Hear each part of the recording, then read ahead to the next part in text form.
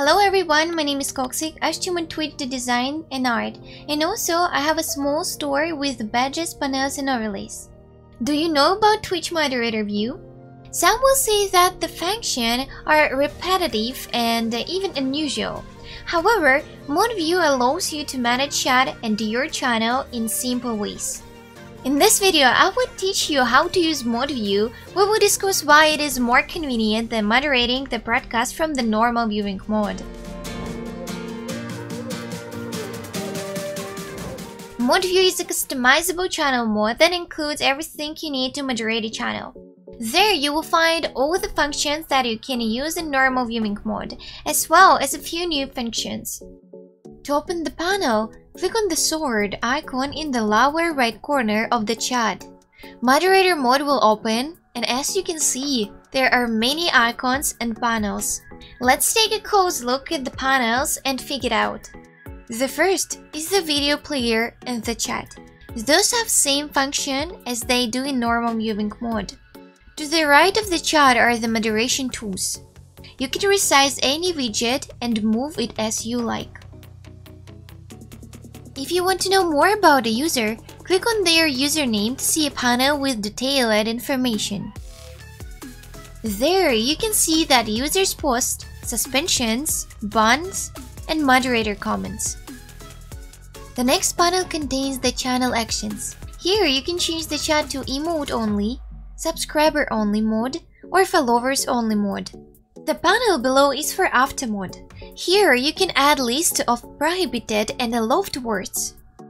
Whenever any moderator takes an action, a notification will appear here. You can filter the types of actions that are less relevant to you in the menu at the top.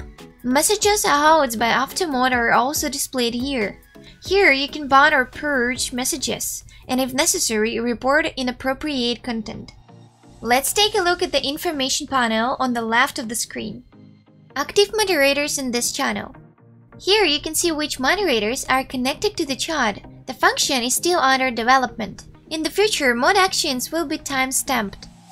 Brief information about the current stream session. Duration the number of viewers and views. The action log. Subscriptions, bits, followers. The channel point reward queue. Here you can accept or cancel receiving channel points. If a redemption is denied, the channel points will be returned to the users. Unban requests. When a user is banned from a channel, they can send a request asking to be unbanned. This widget is a mailbox where you and your fellow moderators can review such requests. Attached widgets provide quick statistics and access to one of tasks. If you don't need a widget, you can delete it here. If you need it again, you can go back and restore it. When you're following someone who begins streaming, their avatar will briefly appear here.